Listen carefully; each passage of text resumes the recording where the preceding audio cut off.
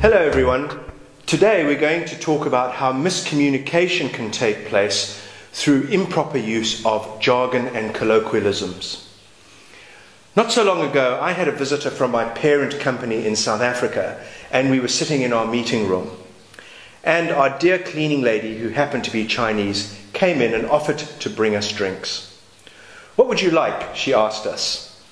Well, it so happened that we both wanted Coke, but my colleague being on diet, preferred to have Coke light, which in our vernacular we call thin Coke because it makes us thin.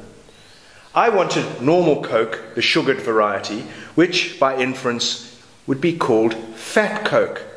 So we ordered one thin Coke and one fat Coke.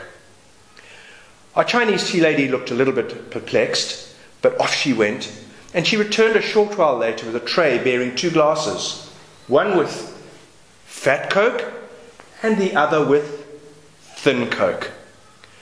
We had a good laugh about this, and it was a little bit embarrassing for her. But the message behind all this is that there are hazards behind miscommunication, especially when we use our own jargon, our own colloquialisms, and our own cliches. Fortunately, in this case, the damage was virtually nothing, but it could be a lot more serious in the wider world.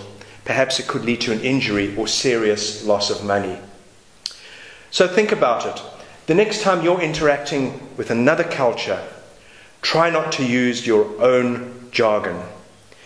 If you want to know more about the finer points of connecting across cultures, have a look at our website, asianways.sg, and take a look at the programs that we have on offer. And I hope to see you on one of those one of these days. Bye for now.